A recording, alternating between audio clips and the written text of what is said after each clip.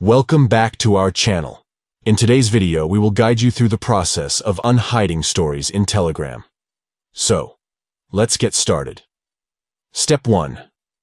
Open the Telegram app on your Android device. Make sure you have the latest version installed. Step 2. Once you're in the app, look for the folder icon located at the top left corner of your chats. Tap on it to access your Stories archive. Step 3. In the Stories archive, find the story you want to unhide.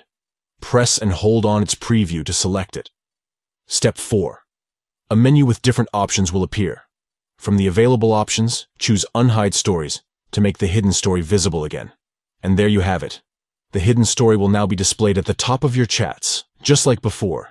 Unhiding stories in Telegram is a quick and easy process.